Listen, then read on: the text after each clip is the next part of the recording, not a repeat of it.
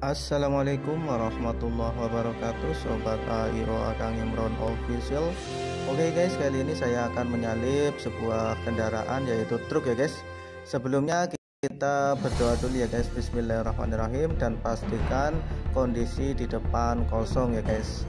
Jangan lupa untuk menengok spion kanan kita. Pastikan kendaraan di belakang kita juga aman Oke guys, ketika sudah aman, kita lanjut menyalip truknya dengan hati-hati ya guys.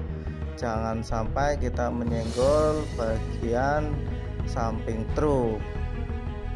Dengan hati-hati kita menyalip dan terus menambah kecepatan kendaraan kita. Oke guys, alhamdulillah sudah terlalui.